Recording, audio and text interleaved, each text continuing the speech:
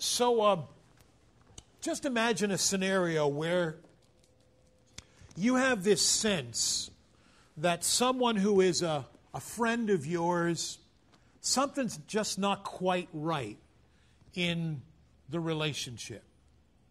You're picking up on just the way they're responding to you, or maybe not responding to you. The way they're speaking to you, or the way they're not speaking to you. There's just been a change. And you kind of get this sense that uh, something's not right. Eye contact's not the same, warmth isn't the same, the kind of interactiveness isn't the same, and you know something's wrong. You think to yourself, maybe at first, ah, let me just sit on this a little bit. I don't want to overreact. I don't want to create a problem where there isn't one. Maybe I'm just a little tired. Maybe I'm just a little oversensitive. And so you just kind of let it slide for a bit. But some of the same tendencies and signs continue to, to give evidence of the same. You're left thinking to yourself, okay, I'm uncomfortable. What do I do? Well, maybe along the way, someone else who's part of a of a mix that includes you and, and the other person suggests to you that there was something that maybe you have done or something that maybe you have said that has caused a little bit of a hurt or offense. And you're thinking to yourself, I don't think I did that, but they apparently think I did that. I don't think I said that, at least not that way, but they apparently think I said it in a certain way. And so now you're feeling a little bit uncomfortable, right? Think, okay, this is the relationship we've had for a long time, a lot of years, been through a lot together, ups and downs and stuff, and it's a little bit strained. So there are instinctive responses to those situations. Sometimes the instinct is, you're ticked at me over something as stupid as that. Tough rocks, deal with it. And maybe you start responding to them the same way you think they're responding to you. What happens to the relationship at that point? Hmm. That's like gasoline on the fire, huh? That ain't going to work too well. Sometimes you think to yourself, I kind of feel uncomfortable, not quite sure what to do. So, what I'm going to do, and this is a common instinctive response, I'm going to try to compensate for the awkwardness. I'm going to go the extra mile. I'm going to try to be nicer. I'm going to try to be warmer. I'm going to try to be friendlier. I'm going to try to be more communicative. I'm going to try to take more of an interest in their lives and their issues. I'm going to change my behavior toward them, hopefully in a positive way, without putting too much mayo on the sandwich. You know, just, just try to make up for it all with the hope that that will bring down some of the awkwardness and the tensions. Can you identify with that? there is this instinctive response in us to want to make up for our shortcomings. Hopefully, that that's all that will be required to fix it. Now, let me say at the outset there is a New Testament biblical principle that will, in fact, endorse that kind of a suggestion. The scriptures say, Let love cover a multitude of sins. And in that one statement of the Apostle Peter, the principle is you know, you don't have to confront every issue eyeball to eyeball, face to face, and say, you know, you've sinned against me and I've sinned against you. And sometimes it's not that huge of a deal. Sometimes I can just choose to demonstrate a kind of sacrificial, serving love and ministry to that person. And that will be the ointment of healing that God will use to patch up what is a little bit uncomfortable. Sometimes that works. So I don't want to minimize that. But sometimes the offense is greater and requires a little bit different strategy than just thinking if my behavior patterns toward them change and I'm nicer and warmer and cuddly and more interested, that that'll take care of it. Now, use that illustration because, in the smallest of sense, this is where some of the Israelites were at during the time of Isaiah the prophet, at least a small segment. You've got a period where Isaiah comes on the scene where the people of Judah, the southern kingdom, are about as far away from a real, vital, meaningful, significant, transformative relationship with the God of Abraham, Isaac, and Jacob, as far removed from that as they had ever been. And it was rather disturbing because you would have thought they would have learned from the failures of their extended family to the north in what was then called the northern kingdom of or Israel and what happened to them. Their absolute abandonment of God, their absolute abandonment of all that He had given to them, of His promises and of His word and of the voice of the prophets, their total abandonment of a relationship with Him and it ultimately produced, after extended patience and forbearance, the discipline of God upon the north, where the Assyrians utterly wiped them out. Those in Judah, many of them had lived through, or at least their ancestors had lived through, the horrors of what had happened in Israel, the northern kingdom. Many of them were dead, slaughtered in battle. Many had been seized and taken off into captivity and were in Assyrian prisons. Many of them were living in abject poverty, but what was absolutely true was that the northern kingdom was no longer in existence. That was now absorbed by the Assyrian Empire. The precious kingdom that David and Solomon expanded under the blessing of God, the enrichment of God, the promise of God, it was no longer it was gone. One would think those in the south in Judah, closer to the temple, closer to the priesthood, closer to the preachers, closer to the elders, closer to religious spiritual life there in Jerusalem, looking to the north, one would think they may have gleaned some benefit just by observing the failures of their ancestors. The northern kingdom was gone. And what's more, already through much of Isaiah's time, Assyria during Isaiah's ministry had descended upon the south, upon Judah. Three of the major cities were burned to the ground. When I did our uh, weeknight uh, video study on the archaeology of the period of the Old Testament, we saw evidences of the ruins of those major cities that were burned to the ground, evidence of fire destruction showing what the Assyrians had done. It was as if the Assyrians were toying with the Judeans. They could have swept through Judah and wiped out Judah as quickly as they had the north. But they didn't.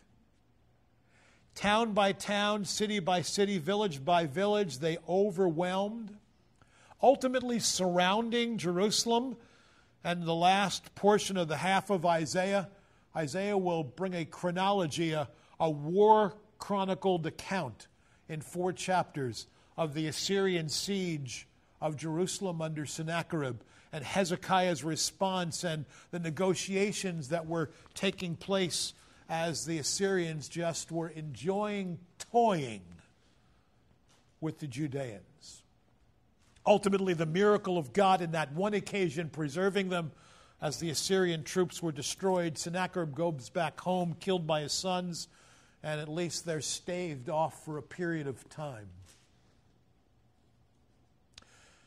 One might expect those in Judea, the residents of Judea, would have gained some amount of wisdom from the failures of their ancestors to the north. As well as those surrounding them. How would they deal with the reality of their own spiritual condition? Well, the evidence from the words of Isaiah in the first chapter that we read parallels the illustration I used earlier on. What they actually tried to do was self reform. What they actually attempted to do was to demonstrate to God that they would be better now, that they would be more faithful now, that they would be more religious now, that they would be more observant now. It's interesting. The thought was if somehow I could show to God now that I'm a little more serious about my spiritual responsibilities and obligations as a Hebrew, that maybe the scales will weigh themselves in such a way that my efforts at self change now will outweigh my failures of the past. And somehow God will be pleased with me. Just throw in a little more religion, a little more works, a little more effort, a little more self change, self improvement. Surely that's all that would be required by God. Now, we need to be careful because, quite frankly, I see that tendency that could easily crop up in my own life. And I've seen it in the lives of God's people. I've seen it over the years as a pastor, how many times people will maybe reach a place of life crises in the family and spiritually have been less than, than really connected to the body of believers. And, and the response to that is one similar to the Israelites. And what I would have noticed was this family suddenly becomes a whole lot more church focused than they had ever been before. Maybe a family that would show up on Sundays once a month, you know, once every couple of weeks. Suddenly you're recognizing they're there at church every single Sunday morning, and they're not missing a week. And not only are they there every Sunday morning, but they're dressing pretty spiffy too thinking, man, they're showing up in their Sunday glamour clothes and in, in, the suits, and the kids are dressing up, and they're all there. They're not only there for Sunday morning, but they're even coming back then. We had Sunday evening services. They're even showing up on many of the Sunday night services. Like, boy, these people are serious. Some good stuff going on. They may even show up at Wednesday night prayer meetings. They may even come to a Sunday school class and, and get involved. Heck, they're even starting to get involved in serving. Their doing is now outweighing, so they're thinking, all the stuff that had been neglected in the past.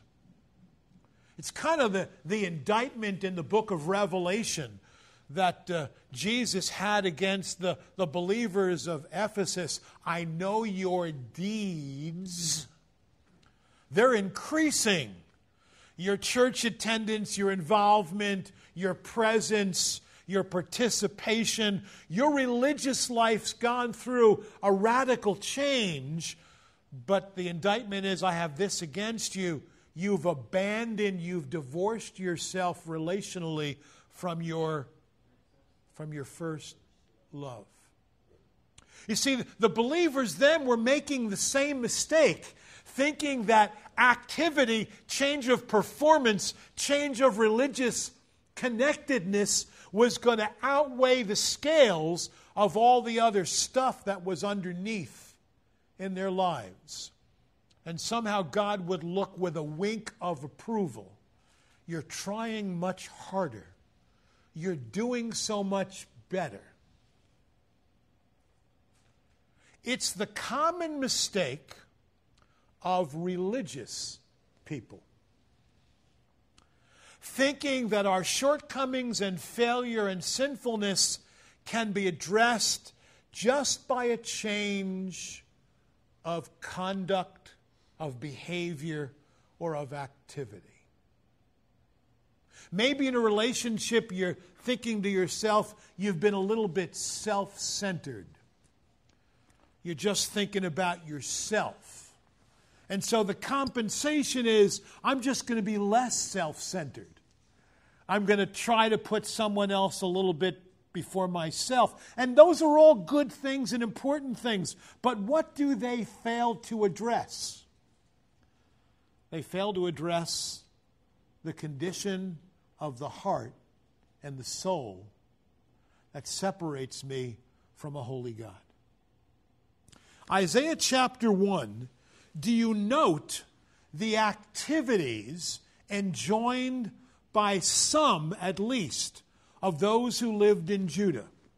Notice how their religious performance had taken on an entirely uh, new look. The words of chapter 1 of Isaiah, verse 11, indicate that they were engaged in participation of sacrifices. Do you see that in verse 11? Were they doing occasional sacrifices? What's the descriptive word coming along in verse 11 with their activity in offering sacrifices? They were giving more sacrifices than ever. Now, within the, within the, the Levitical sacrificial system of the five categories of sacrifices the Jews were challenged to offer for sin, there were sin offerings, guilt offerings, peace offerings, trespass offerings. Uh, there, there were um, uh, uh, the, the uh, burnt offerings and there were grain offerings. Not all of them were required. Some were required on a regular basis. Some were optional, depending on where your life was at, where your behavior was at, what, you issue, what your issues were. And, and so you would, you would offer those sacrifices accordingly.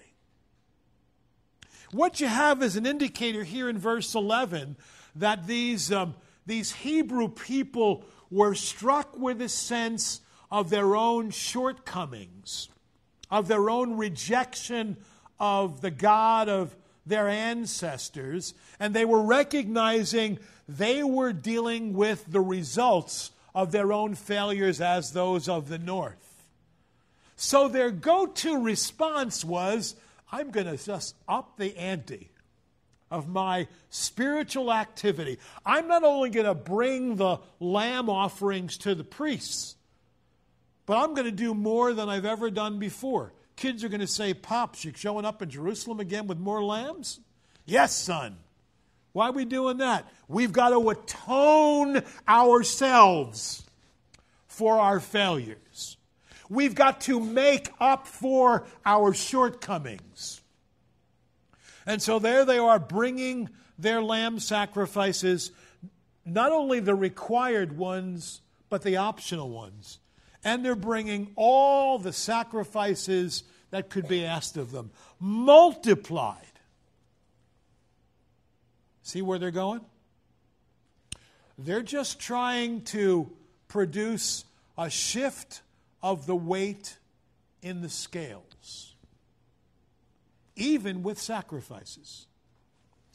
So they're bringing lots of sacrifices. They're also apparently from verse 12 far more active in religious worship attendance. Did you catch it in verse 12? When you are coming to appear before me, there isn't an indictment by God of whether or not they're showing up for worship. There is the presumption and assumption that they are. It's, it's like what would happen in church circles where maybe to atone for shortcomings, every time the church doors open, we're showing up. Whether others are showing up or not, we're showing up. Sunday morning, Sunday night, prayer meeting, Sunday school, home meetings, whatever it is. If it's church time, it's our time. And that's what they were doing there. They were showing up. They were showing up at every possible time for gathering, for worship, for celebration, for sacrifices, for remembrances, for reflections. They were there. Wouldn't you think that'd be a good thing? Wouldn't you think that the local elders and, and rabbinic leaders would be looking at that and saying, man, worship attendance at the temple's really picking up these days, huh? Is a good thing. Just do the numbers. They're showing up. They're, they're also at special seasons of worship. You know, the holiday worship. Like for us, it's, you know, it's, it's Easter and, and Christmas and, and, and beyond. Every occasion imaginable. They're showing up in verse 14 for special worship festivals, the, the new moon, the seasonal festivals, the feasts, the Passover, Sukkot, the feasts of Israel. Every time there's a gathering for celebration, they're showing up. First in line, always there. Wouldn't you think God would be pleased with that? Wouldn't you think that that would be something that would cause the heart of God to be gladdened, to be celebratory? Wouldn't you expect that God would be commending them? I see a change in your religious performance. And I'm honoring that. Which makes these words rather frightening. What are your multiplied sacrifices to me? I've had enough of your burnt offerings. Don't bring them anymore. I, I don't, they're nauseating me. Don't bother showing up. Don't travel with your lambs to the priests for the this. I don't want to look at any one of them. I don't want to see one of those lambs slaughtered. Not for you. Don't bother. That's harsh language. I take no pleasure. There is no joy. There is no celebration. There is no heart of rejoicing from the throne room in the sacrifices for sin that were being offered. And all of these times you're coming to the temple to worship, and you're showing up early, and you're bringing your family, and you're wearing your clean robes, and you're showing up because it's time to show up. Who invited you? Verse 12 When you come to appear before me, who requires of you? You're trampling my courts. All you're doing is bringing in your dirt with you. You're polluting the sacred temple. I don't need your attendance. I don't need to count your numbers. It's hard language. Special worship gatherings. Verse 14 I hate them. They are a burden, they're a weight upon me. I'm weary of bearing them. Somehow it doesn't sound right, does it? I mean, all they're trying to do is make up for their past failures. All they're trying to do is improve all they're trying to do is show God they want to be better and do better. Doesn't make them happy, it makes them more angry. The puzzle. What are they missing? What are they missing? They're missing an understanding of who God is, the heart of God. They're missing an understanding of who they are in the heart of their wretchedness. They're missing it all. If you remember several weeks ago, as God, through the prophet Isaiah, began this appeal to the people of Israel. Remember how repeatedly he referred to them, even in their wretched sinfulness? In, in verse 2, he still calls them his sons that he had reared and brought up. In, in verse 3, he still refers to them as his people. In verse 4, they're still his sons. In verse 8, they're still the daughters of Zion. They're still part of the covenant people of God, the recipients of the mercy of God, the promises of God, the blessings of God. But what they had ignored is who he was. God hadn't forgotten who they were, but they had certainly neglected who he was. He's reintroducing himself to them in verse 2 as Lord, sovereign. They had abandoned a sovereign God over their lives. He was reintroducing themselves himself to them in verse 4 as the Holy One of Israel that prime character trait of God that they had been neglecting for generations a holy God. I mentioned to you several weeks ago that that phrase, the Holy One of Israel, Isaiah employs 25 times in this prophetic book. Only six other times in the rest of the Old Testament. Why?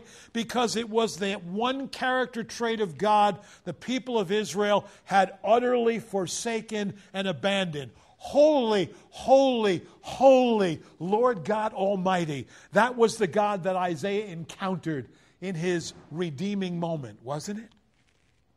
When the seraphim were worshiping at the temple, they were giving attention to the righteousness of God, the holiness of God. And then Isaiah is recognizing his own wretchedness and his own sinfulness. He cries out, I am undone. You see, in that condition for Isaiah, he understood full well that when he saw himself through the lens of who God really was and saw the utter wretchedness of his own sinful heart and nature,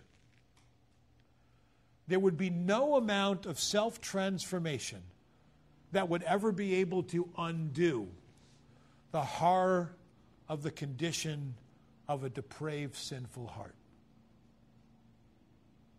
You can't fix this one religious change, religious performance, religious reform, religious life, change in activity, to actually think that I could somehow shift the scales in my favor by my religious life becomes an utter offense to a holy God.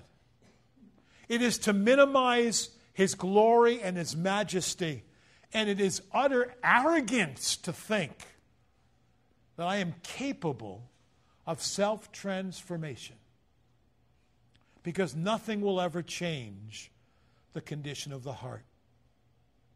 It would be a generation later when Jeremiah the prophet would cry out to a people under judgment.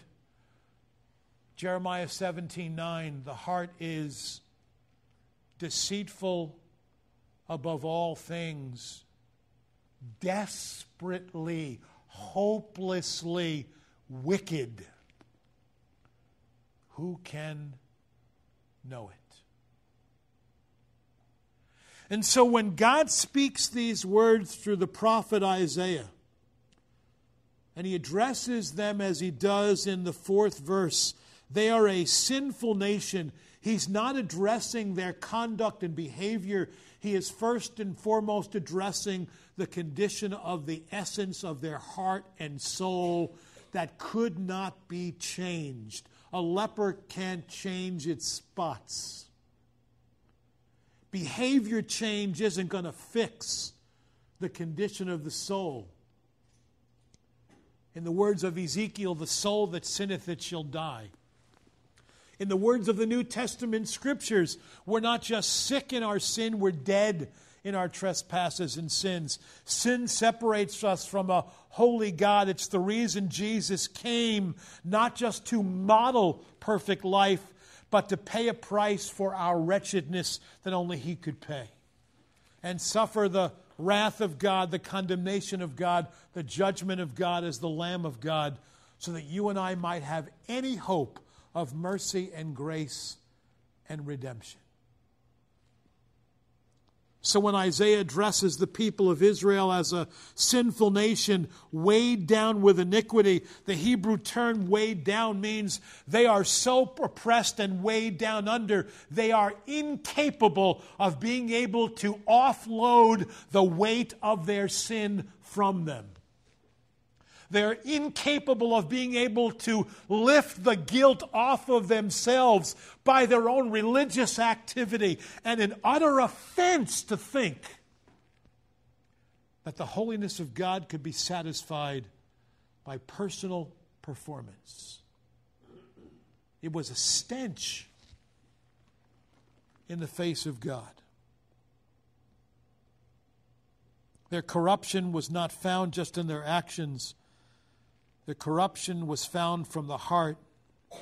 In everything that they had done, in the words of verse 4, they had abandoned the Lord and despised, hated the holy covenant God of Israel. And yet he wasn't abandoning them. They had abandoned him, but not vice versa. It is to this people that God wants to deliver promises, that God wants to deliver prophecies, that God wants to bring hope. But for the short term, it would only be found among those who would recognize the offense to a holy God and would recognize the seriousness of their own utter wretchedness. It's in that spirit that these words, while they sound harsh, are also words of appeal. We noted it several weeks ago in verse 2. He's crying out to them, Please, I'm begging you. The Hebrew word Shema, listen. I'm begging you to hear me, listen to me, understand what I'm telling you. I'm trying to show you who I am. I'm trying to show you who you are. I'm trying to show you what you really need to be. I'm trying to show you you can't fix this. I'm trying to show you only I can wash this and cleanse this. I'm begging you, hear. It's again in verse 10. Hear Shema. Hear the word of the Lord. Listen to me. It's the appeal of verse 18. Come, listen, we got to think together, reason together. You got to understand the wretchedness of your sin. It's really in one verse. After indicting all of their rituals of self performance, it's in one verse in verse 15 that he spells out the ultimate consequences of their real spiritual life and, and their attempt at personal reform, personal life change. In spite of everything they were doing to change behavior, the reality was in verse 15 of chapter 1 here you are showing up to recite your prayers.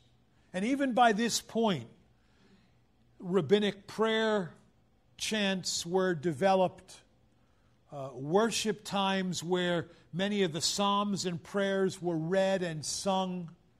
They were done rote, they were done ritualistically, they were done as form without real heart. Going through the religious service rituals. And God says to them in verse 15, you're spreading out your hands in prayer. You're singing your prayer chants. You're going through your worship rituals. And I want you to know that I'm hiding my eyes from you. I'm choosing not to see you. And I'm choosing not to hear you. Because what isn't changing is the condition of the depravity and wretchedness of your heart. Do, do you understand where he's going here? He wants them to be able to have a relationship with Him. He wants them to be able to interact with Him. He wants them to be able to hear Him where they can talk together and share together and, and celebrate together and rejoice together in His mercy and His forgiveness. It's impossible when the path they're choosing is one of self change and self reform with no repentance and no accountability for the horror of their sinfulness that is born of the heart and simply is emitted in all of their activities. Can't fix it.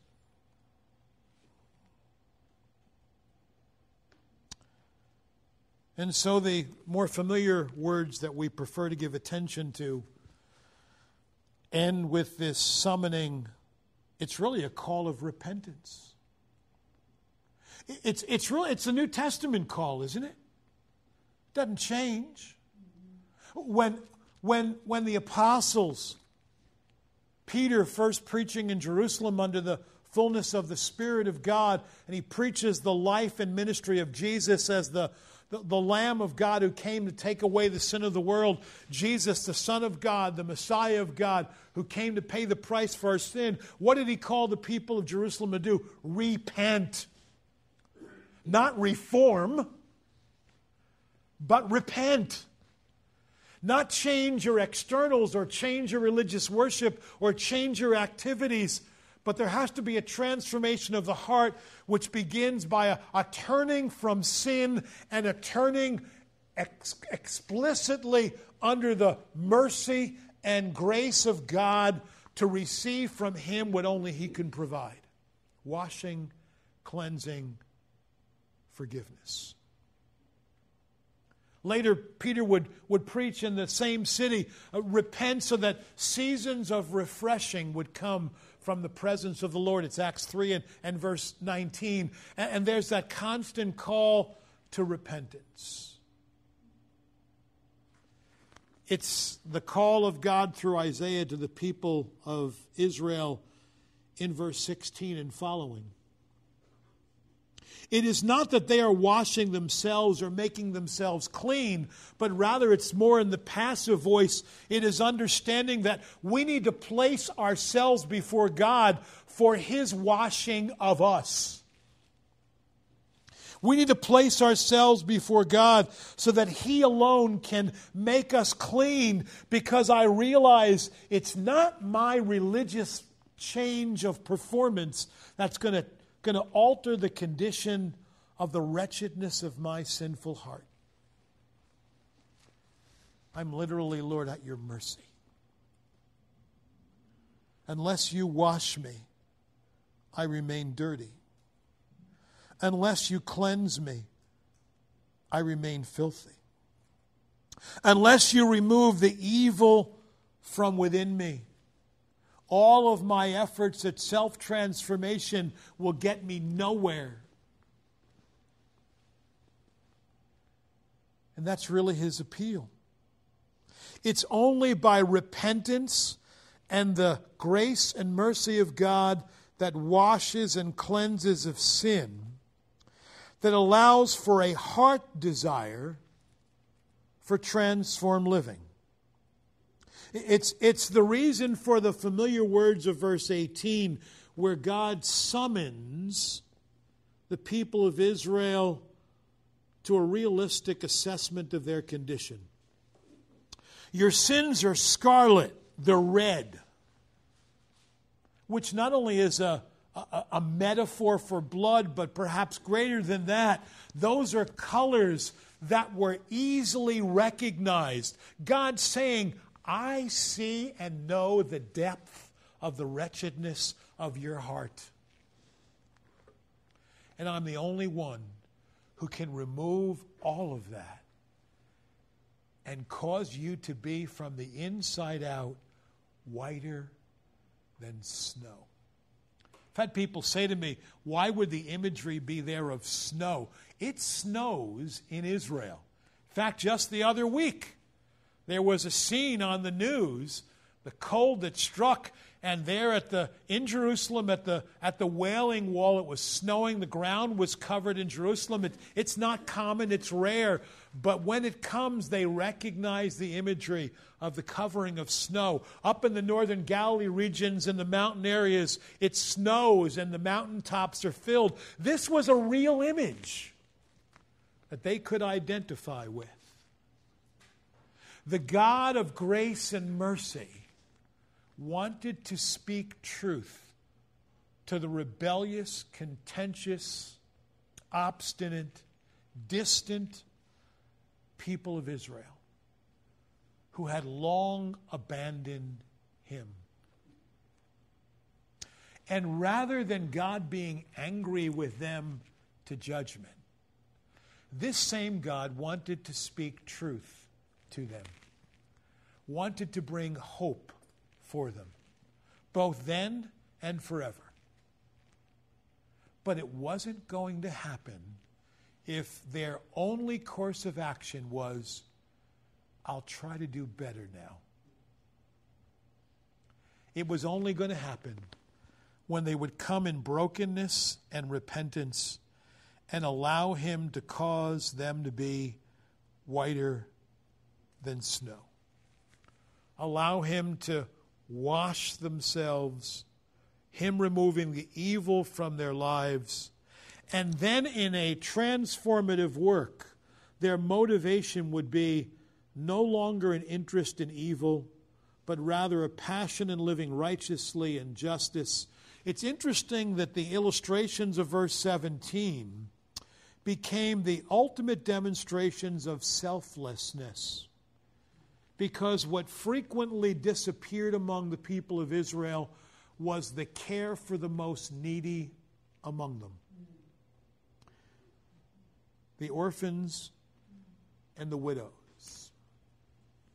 And what God is saying to them, if you will allow me to so change your heart from the inside out, I will alter your motivation and life purpose to such a degree that the things in your life that have the least significance will now have the greatest. Because it's really all going to be about me and serving me and honoring me and worshiping me and walking with me. 2,700 years ago speaks to us today. To a generation of people who will think that just by self improvement and self transformation, I can make up for the wretchedness of my sin. And the good news of the gospel is if that were true, Jesus would never have come. It is precisely because of the impossibility of all that he came. And we celebrate that this morning as we come to the Lord's table. It is the experience of Isaiah as he's preaching. He saw his own wretchedness, he saw his own sinfulness. There is the, the coals of God's purging that cleansed Isaiah's heart and transformed his purpose. It, it was the, the experience of King David, wasn't it? As he cried out to God, Against you, you only have, have I sinned and done what is evil in, in your sight. He cries out for the mercy of God and the grace of God and the cleansing of God and the washing of God. For apart from the transformation of the heart, there could never be a transformation of the life. The consistency of the message of Scripture is rather remarkable, isn't it? The Old Testament message, the New Testament message, it's really the same. The big difference is that the the blood of the offerings of the old covenant were repeated over and over and over again. But God sends Jesus as the once for all sacrifice. As the perfect priest, the perfect mediator, the perfect substitute, the perfect sacrifice who offers himself once and for all, that you and I, by repentance and faith in him, can have absolute cleansing and forgiveness. Isn't it great to know that we don't have to self reform, but when God changes us from the inside out, He produces in us His heart, His desire, His motivation, His longing. We need to allow Him to do that in us. Then we're able to take in the promises of God and the hope of God that Isaiah was bringing to the people of Israel. Let's pray together. Lord, as we come to the elements of your table and we remember what Jesus provided for us, we are grateful, our Father, that our hope for forgiveness, both now and forever, is found not in our own efforts, not in our own religion, not in our own rituals, not in our own rights, but in what you have done for us alone that we could never do for ourselves. We worship you with gratitude for your grace and mercy that is found for us only in Jesus, whom we praise alone in his name. Amen.